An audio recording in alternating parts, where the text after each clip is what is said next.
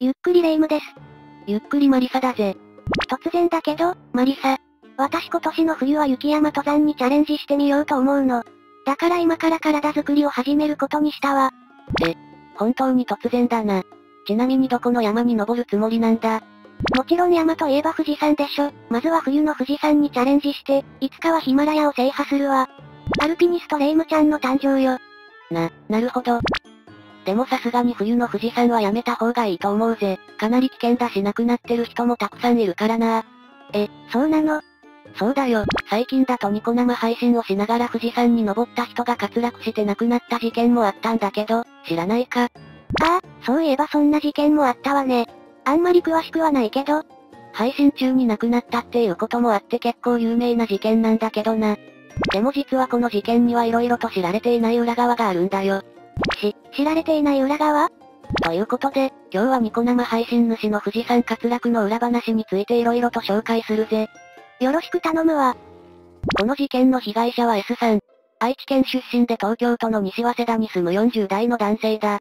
ネット上では鉄さんっていう名前で生配信をしていたぜ。ここからは鉄さんと呼ばせてもらうぞ。ネット生配信しながら山に登ったって聞いてたから、てっきりやんちゃで無茶な若者だと思ってたけど、意外とちゃんと大人の人だったのね。鉄さんは平屋建てのアパートで一人暮らしをしながら、司法試験に挑戦していたんだ。大家さんが、毎晩夜遅くまで部屋の電気がついていた、って話をしていたから、きっと毎日夜遅くまで勉強していたんだろうな。司法試験って弁護士さんになるための試験よね。確かめちゃくちゃ忙しいんじゃなかったかしら。弁護士だけじゃなく、裁判官や警察官になるためにも必要な試験だな。霊夢の言う通りものすごく難しい試験で何度挑戦しても合格しない、なんていう人がたくさんいるんだ。そして鉄さんもその一人だったんだよ。な、なるほど。鉄さんはとても優しい人で、予備校で一緒に仲間たちと勉強会するときはいつも仲間の分まで缶コーヒーや栄養ドリンクを差し入れたりしていたんだ。みんなが勉強に疲れ切っている時に、笑顔で差し入れをしてくれていたそうだぜ。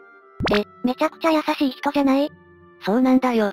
ただそんな優しい鉄さんには大きな悩みが二つあったんだ。二つも悩みがあったの一体何に悩んでたのかしらまず一つ目はやっぱり司法試験のことだ。いくら難関の試験とはいえ、当然だけど毎年誰かが合格する。鉄さんの勉強仲間の中でも、毎年毎年誰かが合格していったんだ。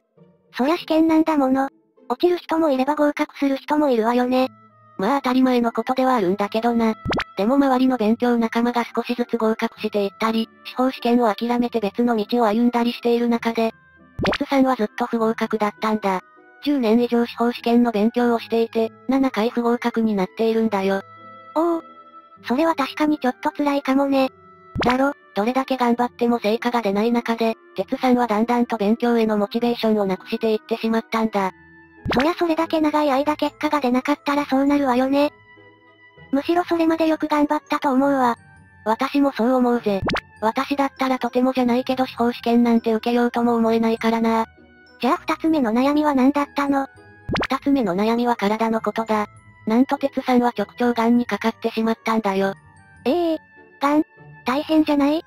直腸癌は早期に発見していれば生存率ほぼ100の病気ではあるんだ。でも鉄さんの癌が見つかったタイミングではすでに癌はステージ4まで進行してしまっていた。ステージ4って言うとどれくらいまずいの？癌っていうのは大きさとかリンパ節への転移があるかないかとか、いろんな要素で病気の進行程度を分けているんだ。ステージ0からステージ4まであって、ステージ4は一番進行してしまっている状態になるな。ええー、じゃあ鉄さんは滑落事故に遭わなくても癌で亡くなってしまってたかもしれないってことただ鉄さんは諦めずに治療を続けて、一応寛解状態にまで回復はしていたそうだ。そうだったのね。医学の進歩に感謝ね。そんな感じで、鉄さんはいろんなことに悩まされていたんだけど、ある趣味が鉄さんの心を支えてくれていたんだ。ある趣味？ネット配信だよ。鉄さんは得意の英語を使って部屋を紹介したりして、動画配信を始めたんだ。配信にハマった鉄さんはモニターやマイクを買い揃えたり、配信者だけで集まる富士山登山イベントなんかにも参加していたそうだ。すごいわね。でも熱中できる趣味があるっていうのはいいことよ。生活に張りも出てくるしね。私もそう思うぜ。ちなみに鉄さんはこの富士山登山イベントでも、疲れた登山者に栄養ドリンクをあげたり、困っている人にモバイルバッテリーや自転車を貸してあげていたそうだ。なんか、話を聞けば聞くほどものすごく優しくていい人なのね。自分が辛い状況でも、勉強仲間や登山仲間に気配りしてあげたりして。そうなんだよ。鉄さんはとても優しくて気配りのできる、すごくいい人だったんだ。でも、じゃあどうして冬の富士山登山なんてしたのかしら今までの話を聞いていると、そんなことしそうもないような気がするんだけど。うーん、鉄さんがどうして冬の富士山に登ることにしたのかはきちんとは分かっていないんだ。でも富士山登山の5日前のネット配信で、リスナーさんから、雪景色の富士山みたいって言われているんだ。え、そうなの？そうそう。そして鉄さんもそのリスナーさんのコメントに反応しているんだ。じゃあそのリスナーさんの言葉がきっかけだったってことはっきりとは分かっていないが、無関係ではないだろうな。そして5日後の10月28日に鉄さんは冬の富士山へやってきたんだ。そうだったのね。でも富士山に前に登ったこともあったんだし、装備とかはちゃんとしてたんでしょ？そう思うよな。ところが、鉄さんは冬の富士山登山にはあまりにも不向きな装備で登山に挑戦してしまったんだよ。ど、どういうこと？まさか配信用のカメラを片手に持った状態で登山したとかいや、さすがにそれはないぜ。鉄さんは帽子にアクションカメラをつけた状態で登山したから、両手は塞がっていない状態だったんだ。なるほどね。だったら問題ないんじゃないの？いやいや、レイムは冬の富士山を舐めすぎだぜ。10月後半とはいえ、富士山はもう雪が降る季節だ。しかも富士山では強い風が吹くから、積もった雪が強風で押し固められて、アイスバーン状態になってしまっているんだよ。アイスバーン、なんかゲームの必殺技みたいな名前ね。ある意味必殺技かもな。アイスバーンっていうのは路面がカッチカチに凍結している状態のことを言うんだ。要はスケートリンクみたいになってしまっていて、とにかく滑りやすくなってしまっているんだよ。おお。それはやばそうね。やばいなんてもんじゃないぜ。冬でアイスバーン状態になっている道路ではスタッドレスのタイヤでも滑るくらいだからな。何それやばすぎるわよ。冬の富士山って雪でふわふわになってるのかと思ってたけど、実際はカッチカチに固まった氷みたいになってるってこと？そういうことだ。冬の富士山の過酷さはきちんと訓練した登山者でも危険なくらいで、ヒマラヤ登山のための訓練に使われるくらいなんだよ。ええー、冬の富士山では遭難したり滑落して亡くなっている人もたくさんいるくらいなんだ。だから装備はきっちり整えていかないと危ないんだよ。冬の富士山がどれだけ危険かってことはよくわかったわ。じゃあ鉄さんはどういう装備で行ったの？まず、鉄さんの靴が問題だった。冬の富士山を登るなら、靴の上に、アイゼン、っていう爪をつけるのが必須装備なんだ。